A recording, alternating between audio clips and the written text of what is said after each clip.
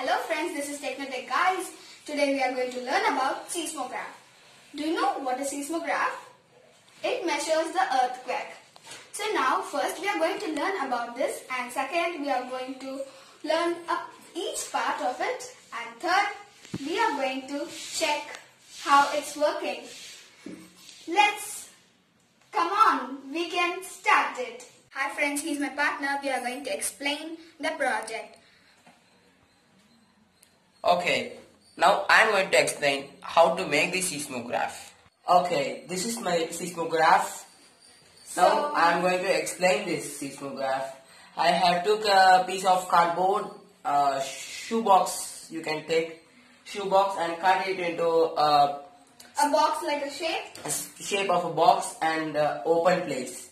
After that I took a thread and make I, I took a cup of plastic plastic bottle I cut it into two pieces and brought the plastic bottle. Uh, then I then we need some coins to weigh and uh, I bought a pen here for the marking of the Measure. measurement. And uh, two sticks so that uh, It should not uh, so that shake. it, it would shake more. So to prevent that I have made two sticks side. Then we need as usual tape or gum. After that I have made two holes this side so that the paper would come. Okay now I will explain you the seismograph. Now I took a cardboard. After that I made two holes in the in the back. I have made two holes. Then I just kept the two two wooden pieces so that to prevent the shaking and just stick with the glue gun or anything you can use tape or gum whatever is stronger. And I bought a plastic bottle and made the hole between and two holes in the opposite so that a hole both the holes to cover with the thread. And I have made a hole in the between the below to insert the pen so that for the marking. And have took some coins took some coins so that it would weigh it would make some more weight of that and it would help to the measurement.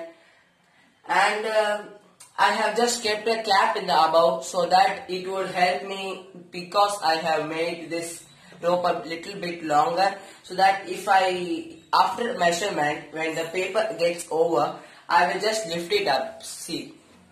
I'll just lift it up to help that otherwise it will be difficult to hold that and lift so I have kept a cap cap here So now we are going to explain. so now I am going to make uh, now going to make it work So let's we can start. So let's start how does it let's see how does it works. Okay. Uh, so now we are going to start our project. Okay. Let's see the measure measurement. Okay. Now I'm going to just hold and uh, pull the paper. See, the measurement is not showing. The measurement is not showing because there is no movement. Now I'm going to now I'm going to move and move the seismograph so that we could see the measurement of the earthquake. Okay, let's we can start. Now. Now my partner will just shake the table or this shake a table and I am going to just pull the paper. So then we can measure the earthquake. So let's can start.